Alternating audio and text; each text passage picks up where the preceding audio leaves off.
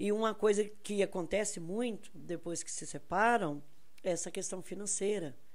Né? O pai, por, por pirraça, por implicância, né? por chantagem, não quer pagar a pensão, não quer ajudar. Não, não foi você que quis pagar, agora você se vira. E, né? e os bichinhos não têm culpa. A criança não vai parar de comer, de beber, né? de, de ter ali as suas necessidades. E, e você falou um ponto importante, você falou assim, dessa pessoa que às vezes terminou, não tem condições de, de pagar uma psicóloga e tal.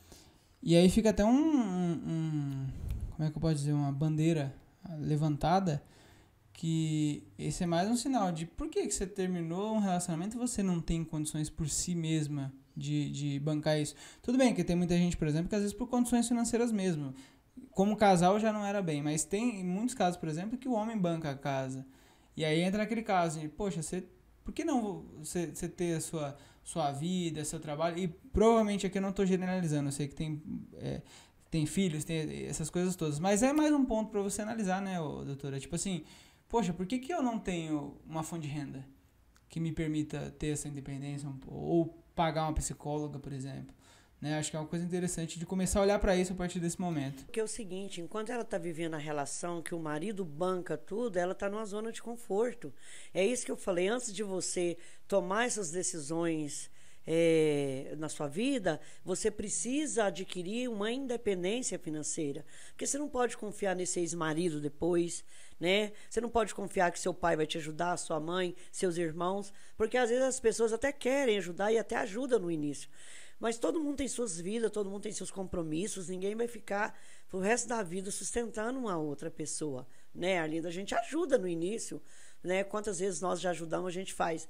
Mas a pessoa tem que uh, pensar o seguinte, peraí, eu já estou percebendo que eu estou casada, mas eu não, sei se eu vou ficar nessa relação muito, por muito tempo, então eu vou procurar um curso técnico, vou ver o que, que eu gosto de fazer, eu vou fazer um curso, eu vou estudar e começar a adquirir realmente uma independência para quando ela, ela se separar, ela ter condições né, financeiras até para se tratar e tratar esses filhos, tratar a família dela, tratar em todo sentido, tratar é, é, materialmente, que seria a questão da alimentação, tratar é, enquanto transtornos, enquanto ajuda psicológica, né, médico, psicólogo.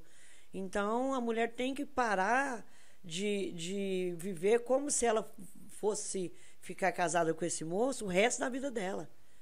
E, e, repito, as pessoas morrem, as pessoas largam, as pessoas se separam.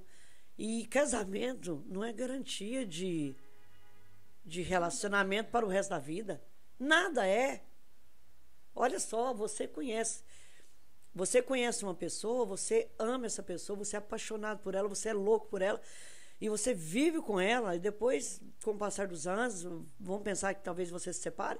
Lá na frente você encontra outro amor, que você ama essa, essa outra pessoa aqui agora, aí você olha para trás e fala assim: nossa, como que eu pude amar aquela pessoa tanto tempo? Como que eu pude gostar tanto daquela pessoa por, né, por décadas aí, e hoje eu não senti mais nada por ela? Como que isso muda na vida da gente? Né? Muda. As pessoas deixam de gostar de você. Ninguém tem culpa disso. Eu não tenho culpa de ter deixado de gostar do meu, do meu marido. O meu marido não tem culpa, por exemplo, de ter deixado de gostar de mim. Não, não existe culpado. Ah, mas a culpa é dele. Gente, infelizmente, nós somos seres humanos. Hoje você ama, amanhã você não ama mais. Né? E as mulheres têm que se calçarem, têm que se precaverem, porque normalmente, pela nossa cultura, quem é que tinha profissão eram os homens. Quem era que era o provedor da casa? Eram os homens. E as mulheres sempre ficou nessa zona de conforto, né? E hoje não é mais assim.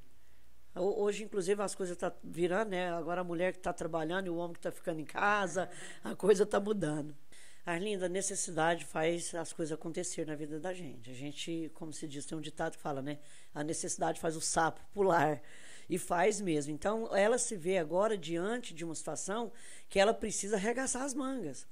Então, ela, querendo ou não, ela vai para o mercado de trabalho, ela vai procurar alguma coisa, porque agora ela precisa, é uma necessidade. Então, ela vai distribuir currículos do que ela já tem, da formação dela. E quando a pessoa tem uma profissão, quando ela aprende, quando ela estuda, ela não esquece aquilo. Ela pode passar 10 anos, por exemplo, um médico, um, um odontólogo, eu, enquanto psicólogo, eu posso ficar aí 20 anos sem exercer minha profissão que eu não vou esquecer, né? Então, quer dizer, ela sabe fazer, ela só estava acomodada, ela só estava nessa zona de conforto. Então, ela vai pular, ela vai correr, ela vai atrás. E a primeira coisa que a gente faz é comunicar com os amigos, né? A gente pede ajuda para os amigos. Olha, fulano, eu estou precisando, se você souber. Então, isso aí vai acontecer naturalmente. Talvez você não tenha filhos, a gente está falando muito de filhos aqui, né? Mas talvez você saiu de uma separação aí também, que você não tem filho, você não pôde ter filhos, você não tem, né? E, e, e segue a mesma linha. É, é, buscar se inserir no, no mercado de trabalho com aquilo que você tem, com a ferramenta que você sabe. Mesmo que você talvez não tenha uma formação, você vai buscar aquilo que você dá conta de fazer, que todo trabalho é digno, que seja uma diarista, que seja trabalhar de secretária, que seja né, o que ela encontrar, porque às vezes não é o que ela quer, é o que ela encontra, é o que o mercado oferece. E a partir daí ela começar a pensar em si, é, é, é ter uma formação, buscar esses estudos, buscar esses cursos e, e, e buscar esses aprendizados. Oiê, eu acabei de gravar uma aula online gratuita onde eu te ensino a técnica do aperta e solta. Gente, essa é uma técnica que você pode fazer com alguns segundos por dia e que vai permitir aumentar o seu desejo sexual e também fazer algumas brincadeirinhas no pênis do seu companheiro durante o sexo, tá bom? Para assistir gratuitamente, acessa lps.sabedoriamulher.com.br barra aula ou clica no primeiro link da descrição. Você vai adorar essa técnica, minha flor.